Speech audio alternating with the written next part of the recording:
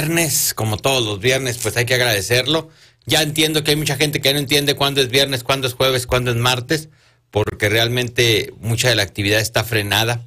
Pero de cualquier manera, bueno, los viernes se presta más a la convivencia en la familia, en los que estamos en casa, no hacer carnes asadas, no hacer fiestas, no festejar fechas. Yo entiendo que estamos deseosos de eso y que sobre todo ahora con este calorcito que se viene, se antoja mucho una reunión de una tarde de amigos, de plática. No se puede ahorita, ya lo haremos más adelante. Hay que ir frenando estos deseos y tratar de, pues poco a poco ir este, cambiando aquí todo lo que se las costumbres que normalmente teníamos para juntarnos en familia los fines de semana o con amigos. Pero bueno, lo importante ahorita es darle las gracias por estar con nosotros, invitarlo a que durante toda la hora nos acompañe en diferentes opciones que tenemos para que usted esté con nosotros a través de Lobo 106.1 en la radio, de lobotv.com, el Lobo 106.com, la aplicación de Android y Apple que se llama el Lobo Stream, también ahí nos puede ver. Estamos listos también para que nos siga a través de Facebook. En Facebook tenemos la opción de que nos deje pues quejas, comentarios, denuncias, lo que usted quiera y también de que comparta nuestro video, de que nos ponga likes. Todo esto nos sirve mucho para ir complementando el contenido del programa y también checando lo que está pasando en nuestro entorno, que para nosotros es lo más importante. Lo que usted vive de noticia, esa es nuestra noticia, esa es la que más nos interesa. Así que ojalá nos pueda dejar estar con usted esta mañana a través de Facebook o a través del WhatsApp 614-161-074. 614-161-074. Es el WhatsApp de Lobo 106.1. Ahí usted puede mandar fotografías, videos, comentarios, grabaciones, lo que quiera. Y aquí estaremos listos para checar, por supuesto, esta opción también de comunicación de El Lobo para ustedes, que es el WhatsApp. Así es que ojalá que también nos dé esa oportunidad de estar con ustedes, pues. Vamos con las notas más relevantes que se están dando en este momento en el estado y sobre todo pues con esto del COVID-19, el coronavirus. Entregan narcos despensas en la zona de la sierra. Estas despensas son del cártel de Sinaloa. Le tenemos ahorita algunas imágenes y el comentario sobre esto. Se registra COVID en el 23% de los municipios. Ya la cuarta parte de Chihuahua, el territorio de Chihuahua, tiene por lo menos un caso. Tiene Comisión Estatal de Derechos Humanos tres quejas de personal médico hasta el momento. Pide gobierno empresa recorte de horario ante la menor disponibilidad del transporte. Estas y muchas notas más por la mañana. Lo más relevante, lo más comentado, las noticias por la mañana. Ayer se dieron a conocer imágenes de comunidades en la Sierra de Chihuahua, en el municipio de Santa Bárbara, al sur de la entidad, en donde un grupo de personas encapuchados empiezan a entregar bolsas transparentes con la imagen de Osama Bin Laden, por cierto, eh, que se asegura son integrantes del cártel de Sinaloa. Están entregando despensas en camionetas fuertemente armados, como usted los ve, y dicen que las están entregando para la gente porque ellos sí llegan con los apoyos a la gente. Hay que decir que siempre que se presente una situación extraordinaria, la situación del apoyo de gobierno tarda en llegar. Y esta ventana de oportunidad se abre para que los delincuentes la llenen. Y aquí lo están haciendo con estas despensas que están entregando a las personas. Los artículos de la despensa que fueron colocados en bolsas transparentes, se puede ver que hay cloro, hay jabón, hay papel sanitario, hay maseca, hay avena, hay azúcar, hay café y estos, este, pues, insumos básicos de la vida diaria de los habitantes de la zona de Santa Bárbara, a donde, por cierto, llegamos a través del canal Centra de Cosmocable. Aquí lo importante es mencionar que ya en redes sociales se están dando estas imágenes. Imagine usted lo que puede estar pasando en pueblos más allá, en donde el delincuente se compromete con las personas apoyarlos y a darles pues asistencia de alguna manera que finalmente quedan pues vinculados de tal forma que ya es prácticamente imposible saber quién delinque y quién no. Ese es el problema, que se está ahorita dando un apoyo nada más y la persona lo agarra y no hay tanto problema, pero pues es el asunto de yo no tengo con qué comer y cómo le hago. Si no llega tampoco lo de gobierno. Si no me llega la ayuda de gobierno, ¿cómo yo puedo subsistir si no tengo ese apoyo. Pues ahí está, mire. Además de que, bueno, muchos de ellos, pues hasta son conocidos, ¿no? Primos, parientes, pues hasta novios y demás, porque pues finalmente los delincuentes son parte de nuestra sociedad. Son a lo mejor hasta el vecino, el de enseguida, el pariente, el primo, pues eso no lo podemos saber en algunos casos y en otros lo sabemos y no lo decimos. Y esa es la parte en la que es tan difícil luchar contra el crimen organizado. Pero esta, una reacción más a esta temporada de COVID que estamos viviendo y que realmente trae muchas situaciones y muchas aristas que habrá que revisar. Bueno, ayer que se dieron las cifras de COVID, porque le digo ahora están pasando el informe a las 9 de la mañana, precisamente ahorita está el gobernador, que por cierto el gobernador habló de la tasa de letalidad del, de, la, de la enfermedad, ahorita tenemos lo que dijo con respecto a eso pero dice que solamente el 23% de los municipios tienen registrado al menos un caso de coronavirus, es decir, 16 municipios en el estado, más o menos la cuarta parte de los municipios. 236 hasta ayer, 444 han sido descartados y 205 sospechosos hasta ayer. De esto le digo, los municipios de Namiquipa, Mioqui, Huachochi, Ojinaga, Cuauhtémoc, Camargo, Jiménez, Auxillo, Ahumada, Guadalupe, Delicias, Ascensión y Guerrero tienen por lo menos un caso y obviamente Chihuahua y Juárez que tienen pues decenas de casos. Aquí está Arturo Valenzuela. Confirmados eh, ascienden a 236, con casos descartados 467, casos recuperados 20, ya de nuevos municipios, lo iremos eh, eh, diciendo en las demás gráficas casos sospechosos 205 defunciones, ascendemos ya a 40, 40 defunciones en nuestro estado. Ahora, los casos que están hospitalizados los amplificamos y los ponemos en esta gráfica. Y ahorita en nuestra cápsula de las 10 de la mañana, de las 11, les damos a conocer los de hoy, porque todos los días está avanzando. Ayer avanzó 36 casos de un solo golpe. Entonces quiere decir que sí está incrementándose la cifra rápidamente y la aceleración en los casos es lo que viene en esta etapa de la pandemia. O sea que aquí brincamos, por ejemplo, ayer a nivel nacional brincamos más de mil casos de un día a otro. Eso quiere decir que poco a poco se incrementan los casos y con ello las posibilidades de contagio, de infección. Hay que tener cuidado por eso y hay que redoblar esfuerzos con lavado de manos, con el estornudo y con el no salir de casa. Esa es la parte más importante. Si no nos exponemos, es prácticamente imposible que llegue el virus al tocarnos a la puerta de la casa. Es muy difícil. Esto es en la calle, en la convivencia diaria, en donde hay este tipo de relaciones sociales donde se presenta el contagio. La Administración Estatal ha solicitado a las empresas que recorten el horario de trabajo, esto luego de que las empresas de transporte están obligadas a hacerlo. Es decir, ya no puede haber, dice una empresa, sobre todo en algunas zonas de comerciales y, de producción, que trabaje después de las 8 de la noche si no hay un camión que va a pasar después de las 8 de la noche.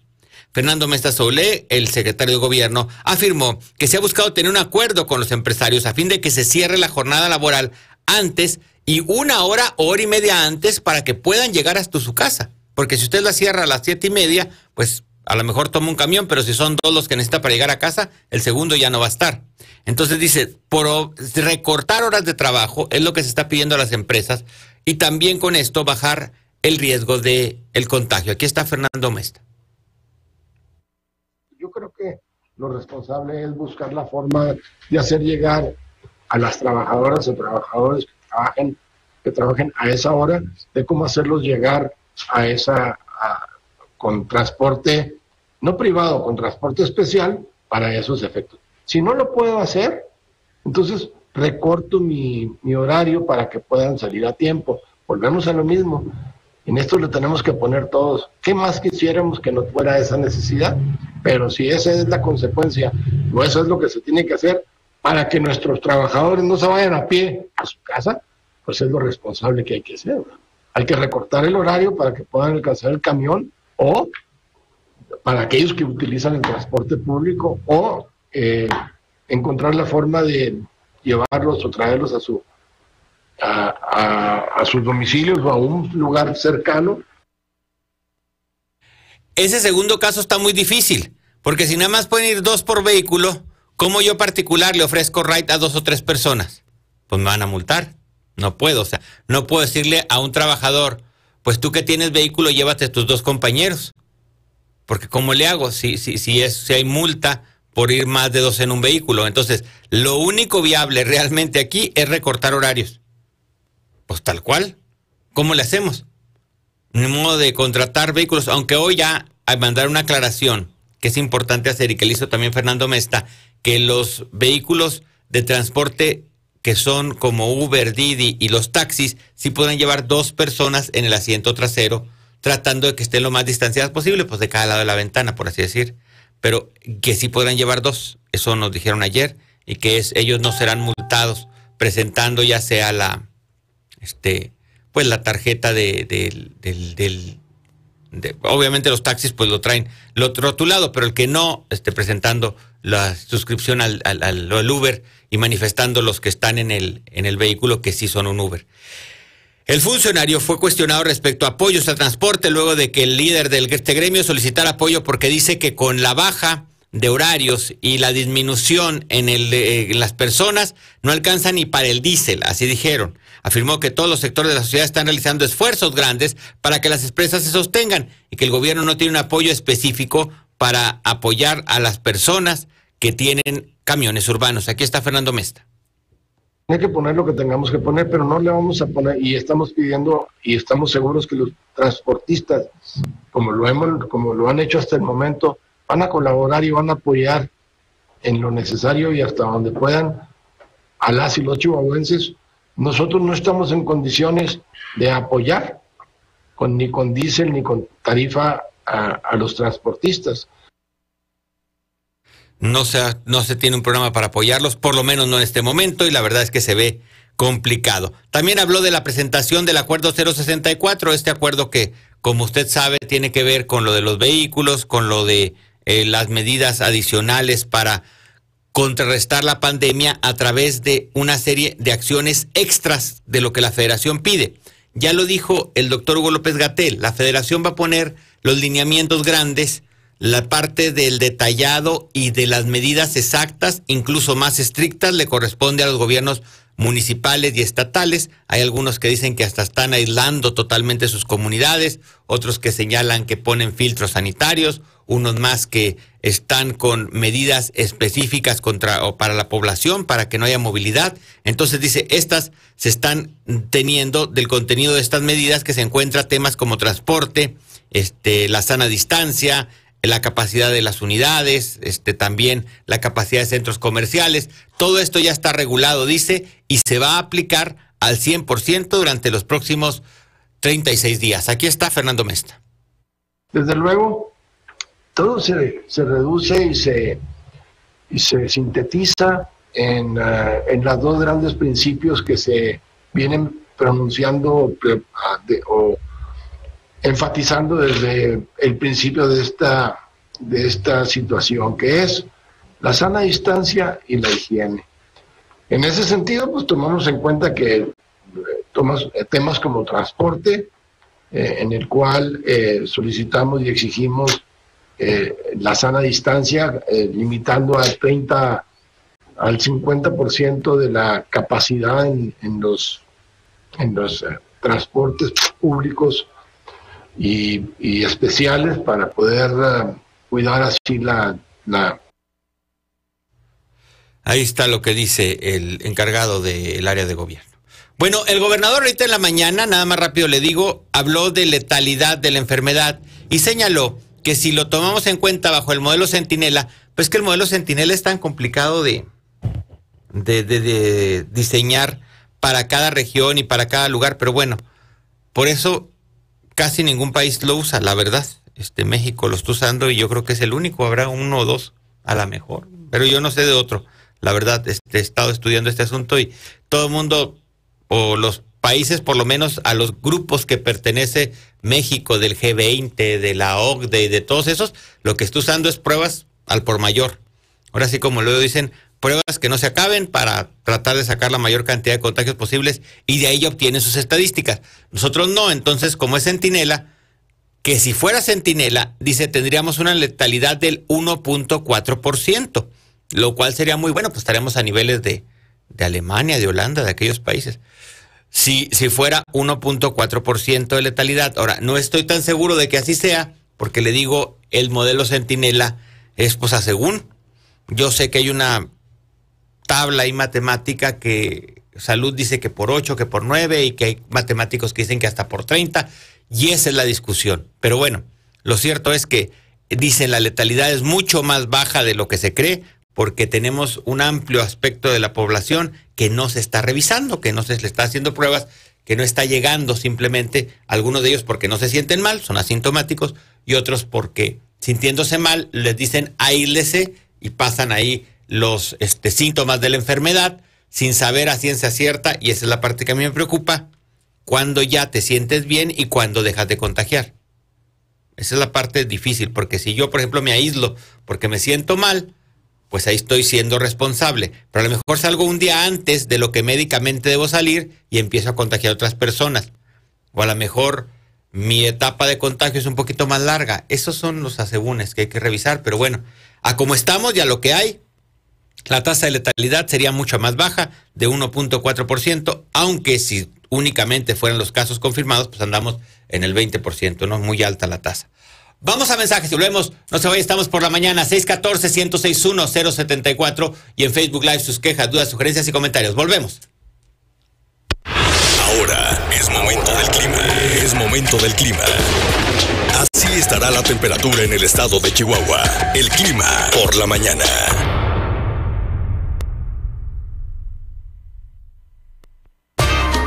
Just El Frente Frío número 56 recorrerá el norte de México en interacción con una línea seca ubicada en Coahuila y con la corriente en chorro ocasionará lluvias y chubascos acompañados de descargas eléctricas sobre Coahuila, Nuevo León y Tamaulipas, así como vientos con rachas de 50 a 70 kilómetros por hora sobre entidades del noroeste, norte y noreste del país, mientras que un canal de baja presión sobre el interior del territorio nacional continuará ocasionando lluvias y chubascos vespertinos acompañados de descargas eléctricas, fuertes ráfagas de viento y posibles granizadas sobre entidades del centro y oriente de la República Mexicana, incluyendo Valle de México. Lluvias aisladas en Coahuila, Nuevo León, Tamaulipas, San Luis Potosí, Querétaro y Morelos. Para nuestro estado, cielo nublado por la tarde con ambiente cálido durante el día y viento de dirección variable de 15 a 30 kilómetros por hora con rachas de 40 a 50. Las temperaturas para nuestro estado las próximas 24 horas serán las siguientes. Chihuahua máxima 33, mínima 16. Juárez máxima 32, mínima 16. Guerrero máxima 29, mínima 9. Jiménez máxima 33, mínima 14. Ojinaga máxima 37, mínima 18. Huachochi máxima 26, mínima 7. Madera máxima 26, mínima 9. Informó para Sistema Radio Lobo Ayamaito Olivas. Ya volvemos con más comentarios. Esto es. Esto es. Por la mañana. Por la mañana. ¿Amaneces cansado? ¿No rindes en tu día? ¿No te motiva a hacer ejercicio? Saca de tu vida esa fatiga con los granos concentrados de arroz, soya y trigo Trienen. Alimenta tus células, energiza tu vida, 100% natural. Pide Trienen llamando al 411-1858. Sistema Radio Lobo, cuidando tu salud. El estornudo de etiqueta ayuda a que las enfermedades respiratorias se propaguen menos. Al estornudar, cubre tu nariz con la parte interna de tu codo. Evita tocar tu cara. Lava tus manos con frecuencia. Para más información, llama al 800 44 800 Cuídate, la salud está en tus manos. CIRT, Radio y Televisión Mexicanas. Sin Mariana no hay mañana. Lunes a viernes, 11 de la mañana. Aquí en XFM 100.9. Departamentos Misión. Dos recámaras, menaje, estacionamiento interior, vigilancia a las 24 horas, servicio de limpieza, cocineta y más. Contamos con servicio tipo hotel. Llámenos al 415-0364 o visítenos en Ojinaga Vieja 1835, muy cerca del Auditorio Municipal. Departamentos Misión.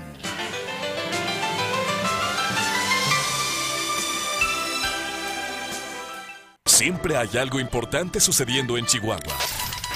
Este es el análisis bajo la óptica de Pedro Chávez en Lobo Noticias. Escucha el Lobo 106.1 y todas las estaciones de Sistema Radio Lobo en el Lobo Stream, la aplicación que reúne todo.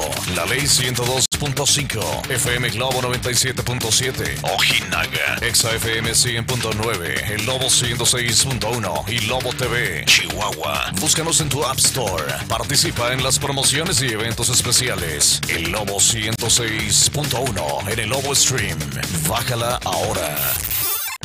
Cuando de impresos se trata, te ofrecemos lo que necesitas para tu negocio. Volantes, manuales, tarjetas de presentación, formatos para tu control, trípticos, en fin. Si de impresión se trata, nosotros te apoyamos. Solo contáctanos al teléfono 614-419-3086. Impresos Profesionales, la imprenta que piensa en ti.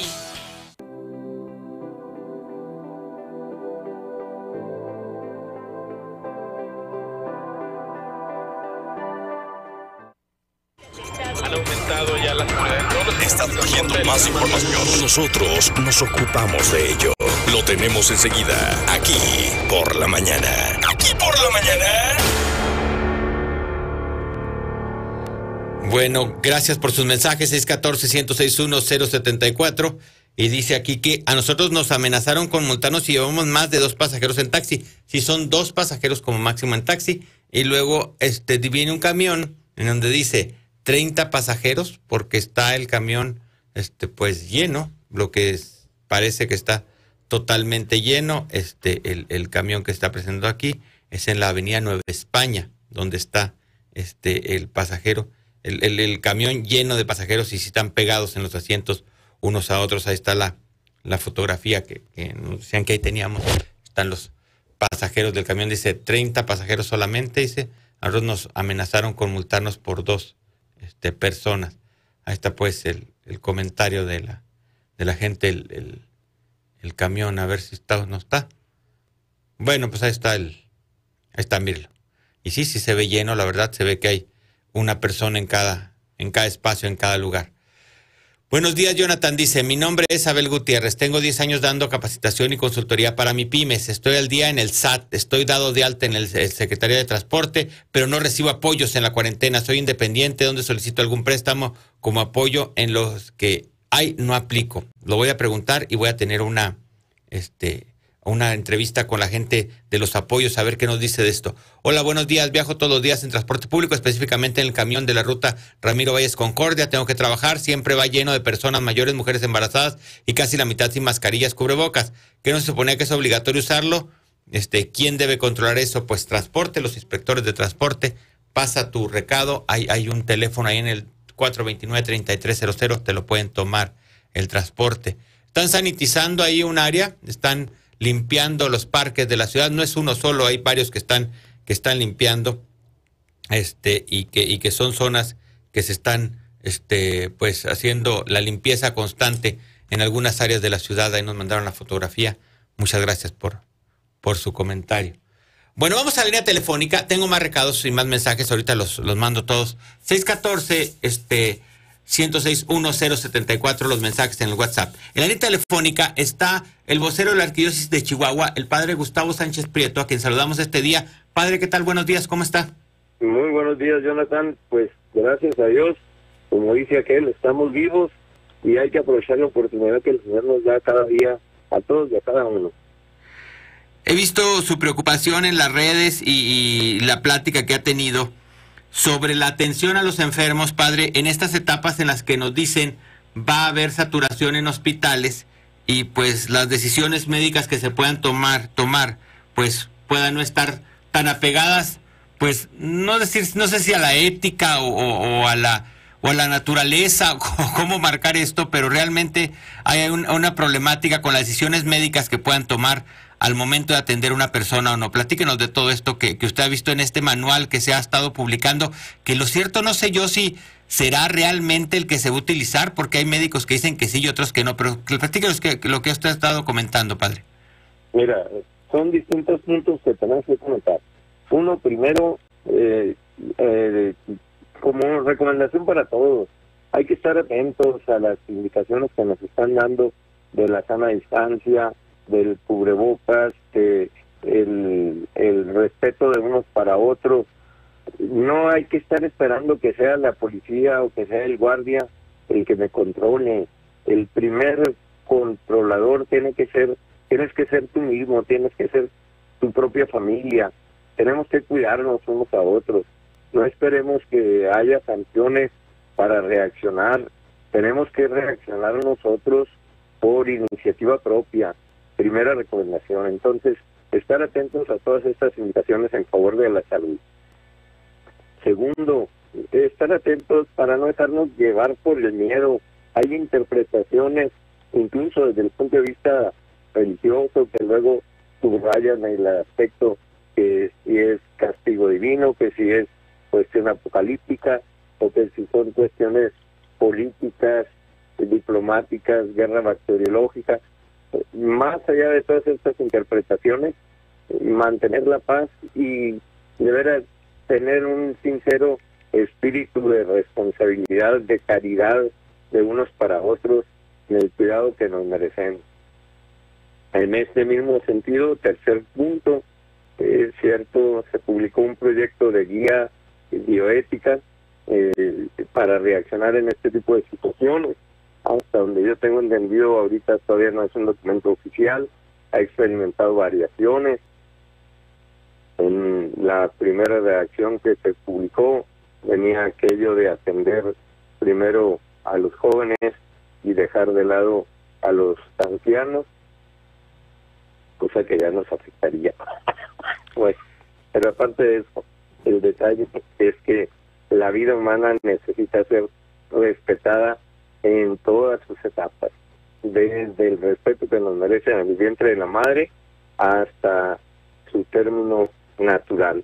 Y entonces, en ese sentido, es en el que la Iglesia levantó su voz en contra de este tipo de criterios en donde se establecían como ciudadanos de primera y de segunda y en este sentido la Iglesia expresa en el respeto por la vida de todos. Es cierto que no podemos... Bueno, padre, se nos cortó el padre. A ver qué pasó con él. Con el padre Neris, como que se, como que se desvió la llamada, a lo mejor atendió otra ahí en lo que estaba el, el padre este, marcando esto. Pero realmente las tres cosas que dice son básicas. Primero es tratar de encontrar la manera de estar todos con la información que hay al día y haciendo caso a las autoridades sanitarias. Segundo, no dejarnos llevar por muchos argumentos que se están dando, muchos argumentos. Y en lo tercero, esta guía que decía que estamos en este sentido de que si se da o no se da, pero que lo importante es, padre, este, eh, les comentaba yo en este corte que tuvimos de la llamada, que haciendo caso, estando tranquilos y estando también en una especie de vigilancia constante de las decisiones que se vayan tomando, porque finalmente nos interesa es la vida de todos la que esté en juego y hay que estar pues informados y estar y estar al pendiente de lo que está pasando, ¿no? Y definitivamente ahí tenemos que pedirle al gobierno que invierta, que dirija los recursos en favor de la salud más que en favor de otro tipo de acciones. Y, decía, eh, junto con este respeto por la vida de todos, la intención es salvar la vida de todos. No se trata de discriminar a nadie, servir a la vida, desde la vida naciente hasta la vida en su etapa terminal en forma natural.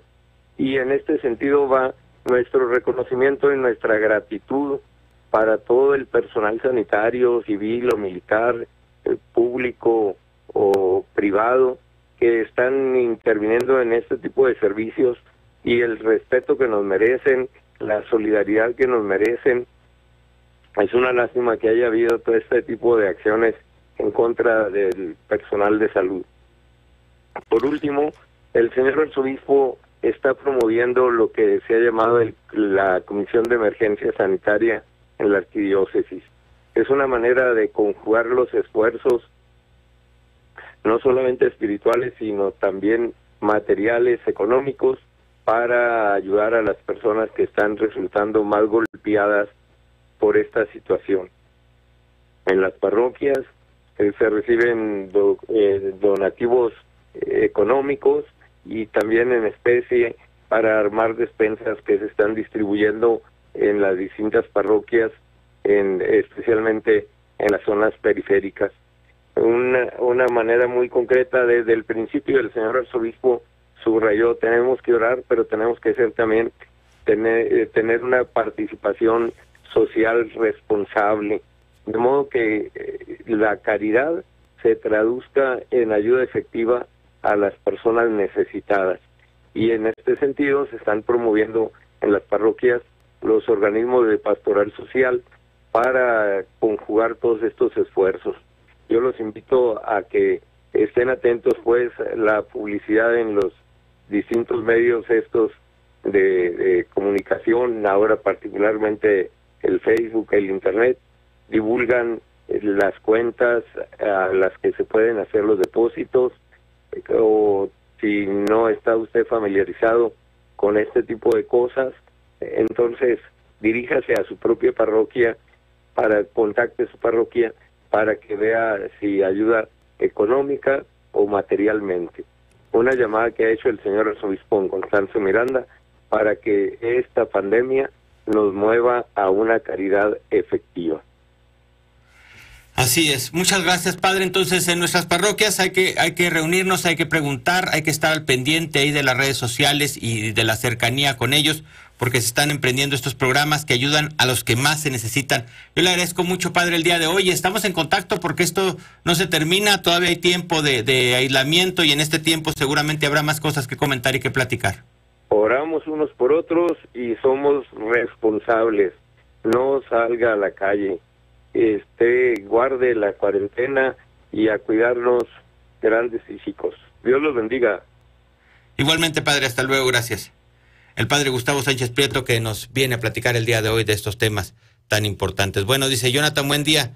Mira, una persona desinfectando la plaza. Ah, es lo de lo que decía ahorita la fotografía de la plaza, ¿verdad? Donde estaba José Luis.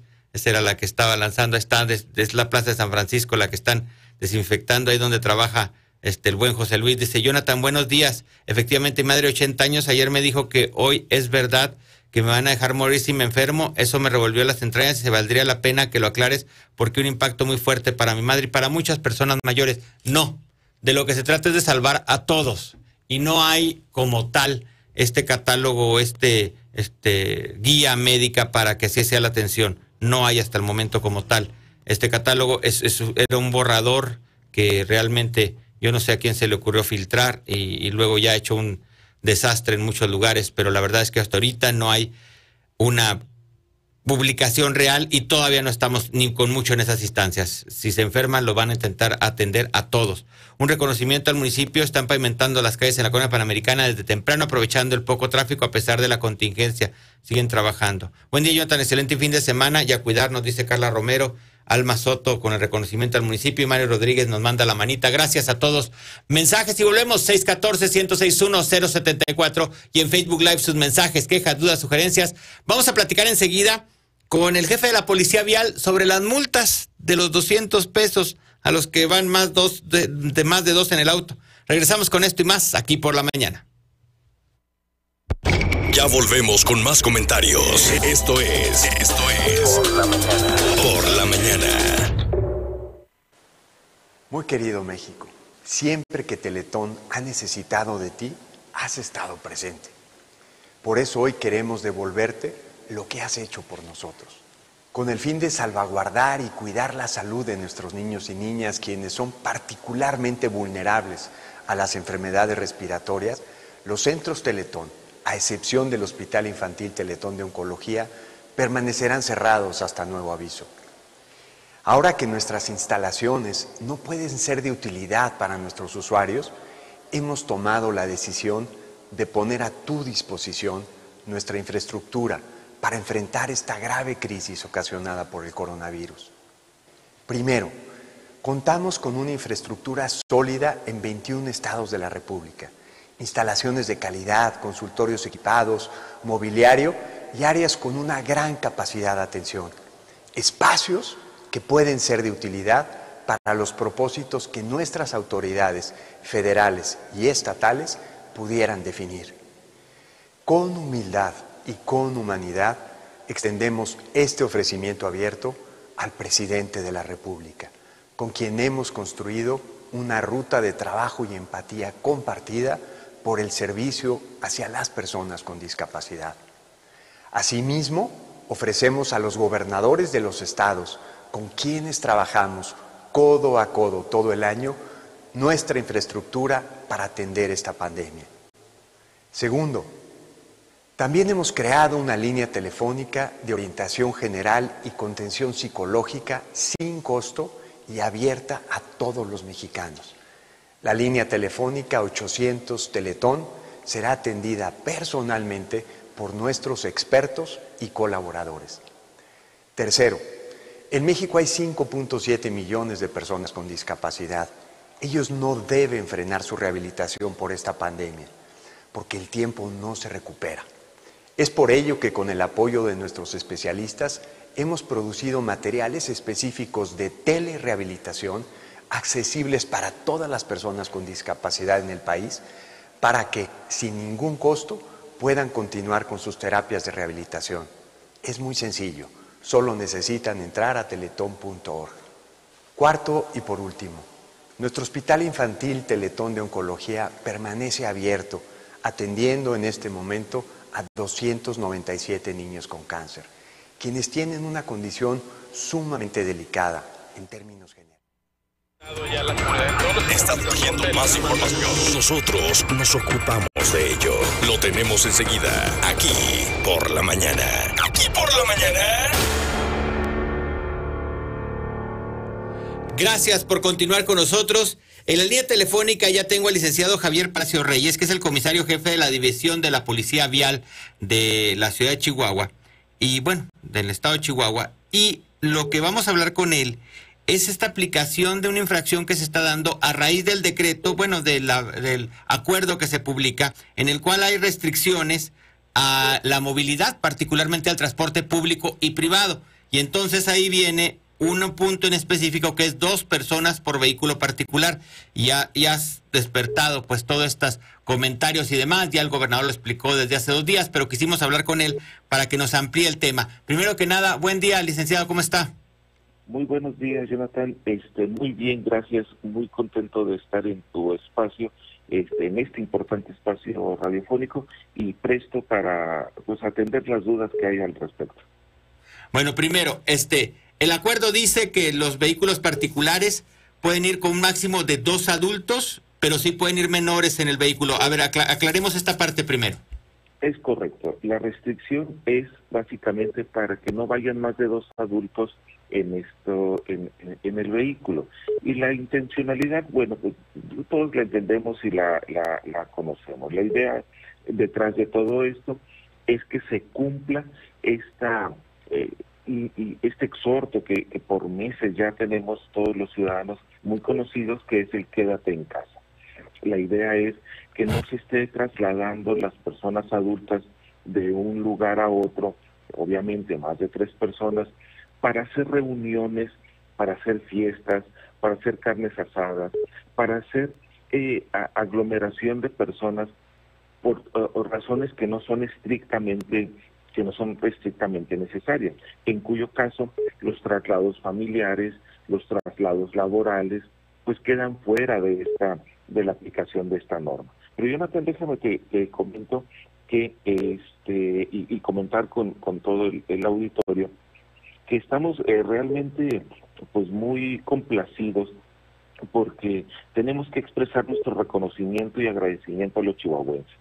La verdad es que en estos tres días de que se ha aplicado esta disposición, pues los chihuahuenses han mostrado, yo tengo que decir, gran responsabilidad y, y, ¿por qué no señalarlo?, compromiso social con la aplicación de esta norma.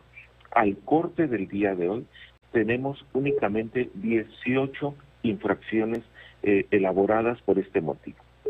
Es decir, la gran mayoría de la población chihuahuense, la gran mayoría de la población en el estado, está tomando la medida voluntariamente y no está haciendo traslados eh, que no correspondan a, una necesidad auténtica y real. Debo decir y recordar, ajá, sí, y, y, si me permites tantito, nada más debo decir también que este lo recaudado en esta por estas infracciones y las que se llegaran a dar en el futuro, como seguramente llega a pasar, ese fondo va a ser eh, puesto al fondo de héroes de la salud. Es decir, es un, es un recurso que está destinado clara y únicamente para este fondo de héroes de la salud, que está destinado para los médicos, eh, hombres y mujeres, enfermeros y enfermeras están en la primera línea de batalla en esta eh, de esta pandemia. Entonces, eh, en el fondo creemos que está siendo bien recibida la, la medida, está bien entendido el concepto y la razón de la misma y, y en ese sentido, bueno, pues va nuestro reconocimiento a, a la sociedad chihuahuense. Ahora, licenciado, hay un asunto aquí con los vehículos que siendo privados, o sea, porque es un transporte privado como las aplicaciones y todo esto, eh, o dan un servicio público, es decir, los Uber, los Didis, estos sí, también tienen ampliado el servicio a dos personas y el chofer por vehículo o es una sola? Es correcto. No, no, no, no. no. Eh, eh, por obvias razones, que bueno, que se trata de, una, de, un servicio de transporte, este, por obvias razones irá el chofer y dos adultos.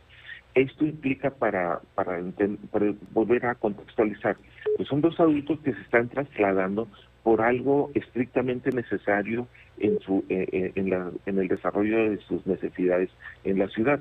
No es lo mismo que vaya un chofer de aplicación con cuatro, con cinco muchachos, con cuatro o cinco adultos que van a trasladarse a la fiesta, que andan yendo a buscar dónde se encuentra la cerveza después de las seis de la tarde, en donde están yendo a otras cosas que no corresponden.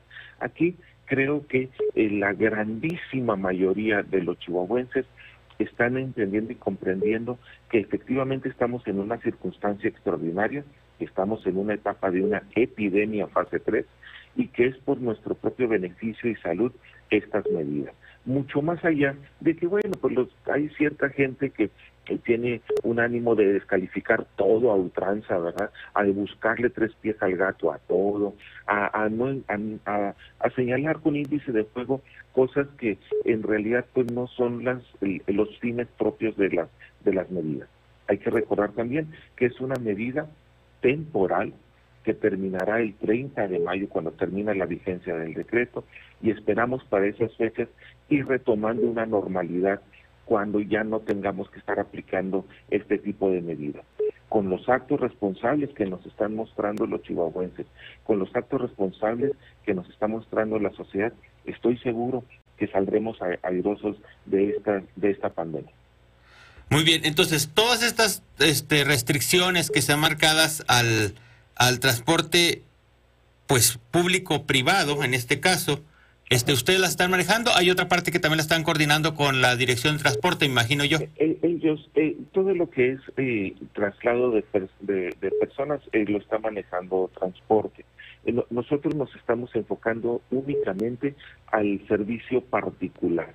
Es, es en el que nosotros tenemos injerencia y que te insisto, pues en, estos eh, tres días de aplicación mm, ha sido muy satisfactorio ver que no ha sido necesario tener eh, muchas sanciones porque la propia naturaleza de la conducta de la sociedad pues nos está dando un, una muy buena respuesta a, que entienden el motivo y el razón de, de ser de estas restricciones. Esto es algo que debemos resaltar, porque es algo que me beneficia a mí, te beneficia a ti, nos beneficia a todos los chihuahuenses, que todos estamos comprendiendo el motivo y la razón de estas, de estas medidas. Es como yo lo he puesto, a veces eh, si le ponemos una inyección a un niño en la familia, pues el niño no está muy de acuerdo con la, aplicación de la medida, pero difícilmente va a ser eh, eh, entendido como un beneficio para el menor. Aquí nos está sorprendiendo porque son medidas restrictivas, son medidas que incluso traen aparejadas una sanción y la propia sociedad chihuahuense está comprendiendo el beneficio de ellas y eso no es cosa menor, eso es algo de eh, muy encomiable, es algo que yo creo que nada más en Chihuahua se, se está dando y nosotros lo celebramos. Mantendremos la medida, mantendremos las sanciones que esperamos se mantengan en estos bajísimos números.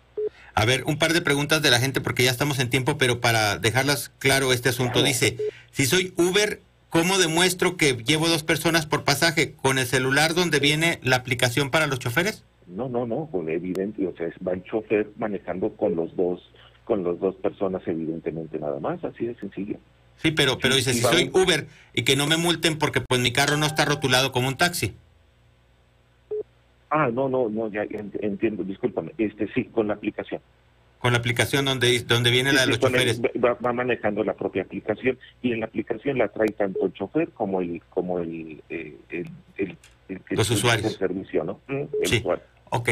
Ahora, este dice acá, cuando no llevan cubrebocas, ¿también están multando por eso? No, no, no. Eh, eh, como que por ahí se corrió este una leyenda urbana en ese sentido y no, eso no, no tiene nada, nada que ver. Ahora, eh, sí, por favor, usen el cubrebocas, ¿no? claro, sobre todo cuando en un lugar público. Exactamente, ¿no? Pero no, no, no hay, no hay sanción por esto. Qué bueno que lo están utilizando de cualquier forma. Muy bien. Entonces, pues ahí queda clara la situación. El asunto es tratar de cuidarnos y de, y de no hacer estas reuniones. Vamos a esperarnos un poquito. Ya está el clima como para carne asada, pero va a haber mucho verano por delante y esperemos poder usarlo para esto. Por lo pronto, a guardarnos en casa y de eso se trata esta medida restrictiva. Muchas gracias, licenciado. No, hombre, muchas gracias a ti y efectivamente es así en los términos que tú lo estás comentando y yo vuelvo a, agradecer y felicitar a la sociedad chihuahuense que está tomando estas medidas de la mejor manera posible. Muchas gracias. Gracias, el licenciado Javier Palacios, que es el, comisión, el comisario de jefe de la Policía Abdial de Chihuahua. Mensajes y volvemos, estamos por la mañana. Ya volvemos con más comentarios. Esto es, esto es Por la mañana. Por la mañana.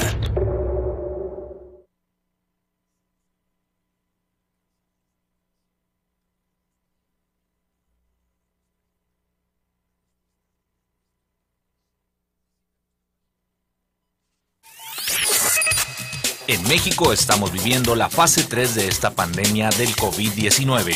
Esto quiere decir que la transmisión del virus ya es local. Para infectarse no es necesario tener contacto directo con alguien. El contagio puede ser en. Cualquier superficie. En cualquier parte. En cualquier parte. Ahora más que nunca, sigue las recomendaciones de las autoridades de salud. Lavar tus manos con frecuencia más de 20 segundos. Utilizar cloro en superficies. No salir a la calle. No recibir visitas ni de amigos ni de familiares que no vivan en tu casa. El distanciamiento social debe ser más estricto. Todo lo que entre a tu domicilio debe ser desinfectado. Las bolsas del súper, las frutas, verduras, medicinas, todo desinfectalo. Si tienes que salir a trabajar, al regresar a tu casa y por el bien de tu familia, báñate antes de convivir con ellos. Quédate en casa. Sé responsable.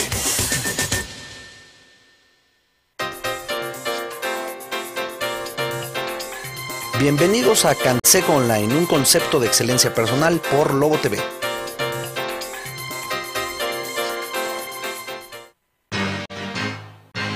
De lunes a viernes a las 3 de la tarde, Enlace Estatal. La mejor cobertura en el estado para que esté mejor informado. De lunes a viernes a las 3 de la tarde por Lobo TV.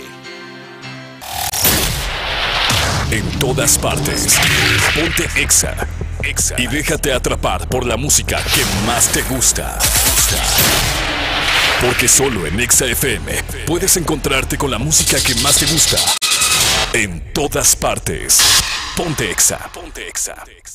Usted, amante del deporte, escuche esta magnífica noticia. El ejercicio intenso de forma repetida causa daños en sus articulaciones. Full Motion le ayuda a repararlas y regenerarlas, dándole flexibilidad y movilidad. Full Motion, con glucosamina, 100% natural. Es para los deportistas y las personas con daños en cartílagos asociados con la edad. Pídalo al 411-1858 y 410-1595. El Lobo 106.1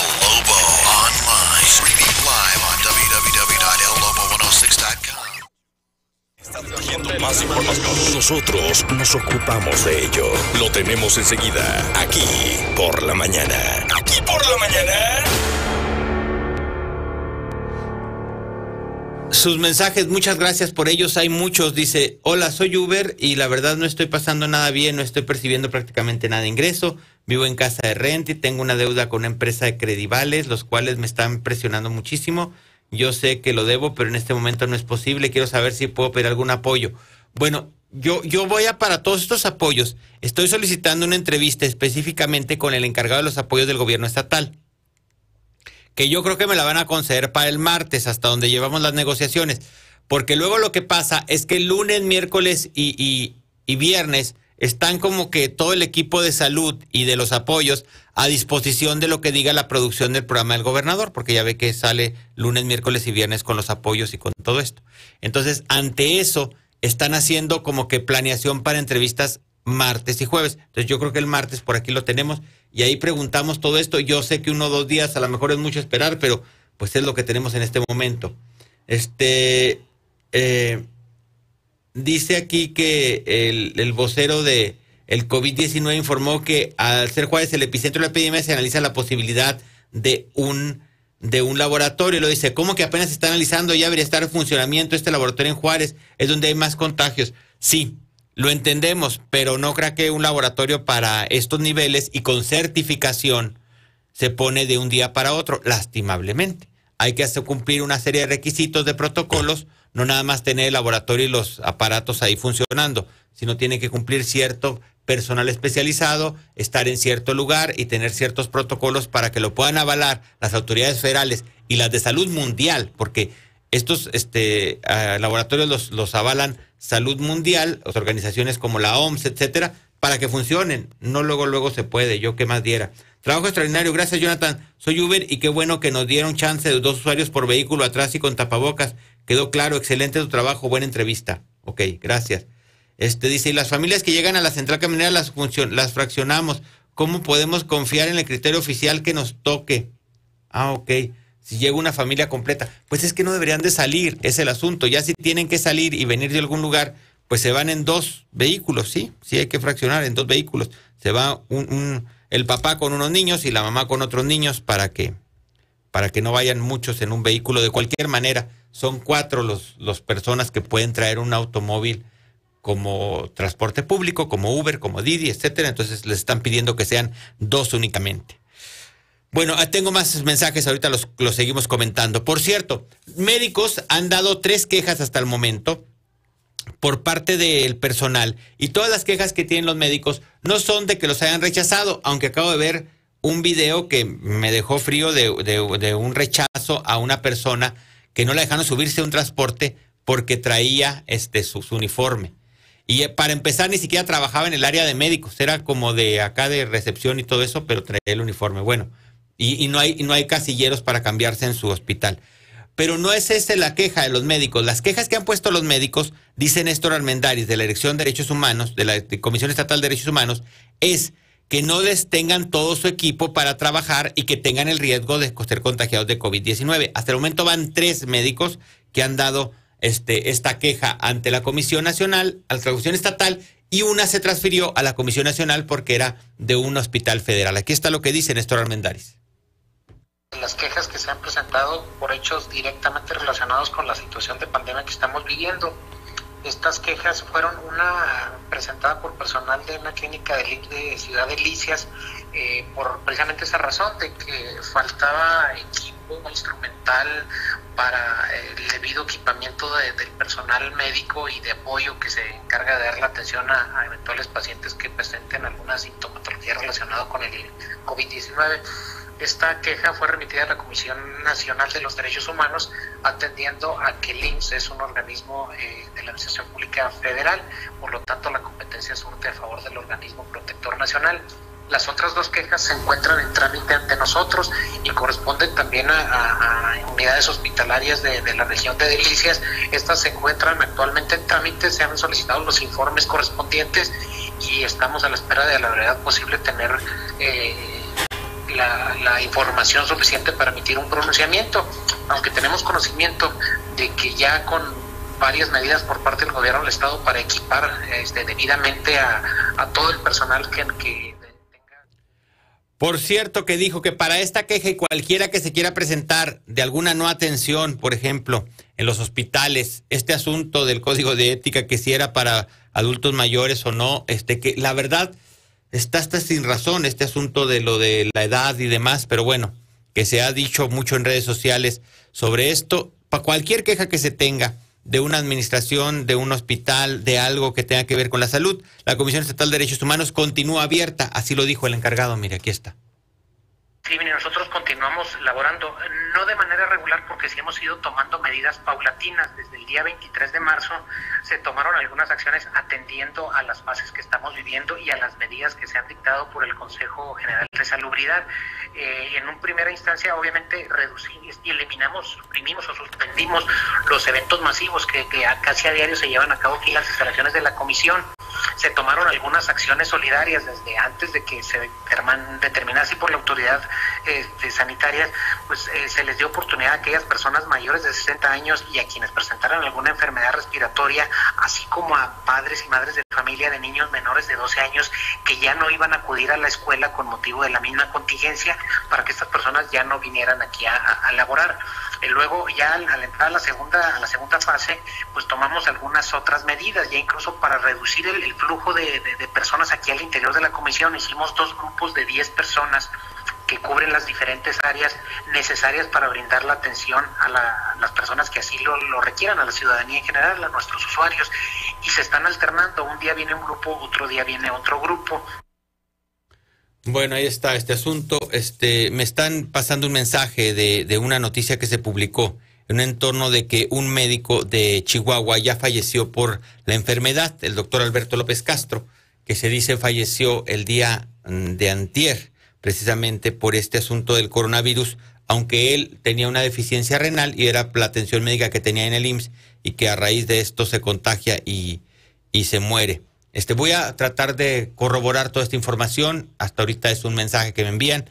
La verdad es que lo es que es cierto es que ya hay contagios en algunos hospitales, este, particularmente en el IMSS se ha hablado de que son seis, que son cinco personas las que se han contagiado. Este, eh, no tengo la clínica ni el hospital ubicados, pero sí me han mencionado esto. La verdad es que es donde más pacientes llegan con coronavirus y es complicado poder seleccionar cuándo y en qué momento están contagiando en este sentido, en el sentido de que llegan para atenderse y allí a veces no se han tomado todas las precauciones a la revisión. Pero lo cierto es que sí se está dispersando ya este, por todo el estado y la estimación que dice la doctora, por cierto, la, la encargada de la enfermedad, que es la doctora Mirna Beltrán, acaba de decir en el programa del gobernador, me están pasando aquí la tarjeta, que se prevé que hubiera 2.400 casos en la entidad, de acuerdo con el modelo Centinela de Vigilancia, considerando que hasta ayer eran 236, estamos hablando de que lo están multiplicando por 10. Lo están multiplicando por 10. Hay quien lo multiplica por 9, hay quien lo multiplica por 10, hay quien lo multiplica por 30, depende de cómo le dan la estadística. Yo no entiendo muy bien esto de la estadística ya a esos niveles, porque tiene mucho que ver con los vectores de, de, las diferentes clínicas y la lejanía y todo esto. Y Chihuahua creo que tiene un porcentaje diferente a otras entidades, precisamente por el número de clínicas, habitantes y demás. Pero bueno, 2.400 casos estimados habría de acuerdo al modelo Centinela, dijo la doctora Beltrán, que es la subdirectora o, su, o subsecretaria de Prevención y Promoción de la Salud. Bueno, pues ahí está la información que le tenemos. Yo, yo entiendo que hay todavía un par de mensajes. Deja ver si puedo. Dice, ¿por qué no llevan hasta una bolsa súper para echar su uniforme al salir del hospital? Ya les dijeron que no lo usen en exteriores para evitar transmisión de virus. Luego se quejan por algo que ellos mismos pueden evitar. En el caso de este enfermero, ni siquiera iba a área de atención hospitalaria. Ah, de cuenta que él era de los que trabajaba en el área de cocina y todo esto. Y ahí estaba este, como dietista y ni siquiera enfermero. Entonces, pues iba con su uniforme porque dice, en mi hospital no hay un área para cambiarme, entonces yo lo estoy llevando. En el caso de algunas personas que usan uniforme y que sí atienden, están tratando de cambiarse y si no pueden cambiarse, usan un uniforme exterior distinto al que traen interior. Entonces, es un asunto complicado este de los esto. Dice, qué cruel que hayan dicho que entre más grandes no nos atenderán. Sí, realmente es un asunto complicado este de, del código de ética famoso este, que se presentó o código de atención hospitalaria, era no, no de ética, era de atención hospitalaria, este, sin ninguna ética, por cierto. Bueno, gracias por habernos escuchado y visto. Hay un par de mensajes más. Los voy a retomar todos, todos los de las multas.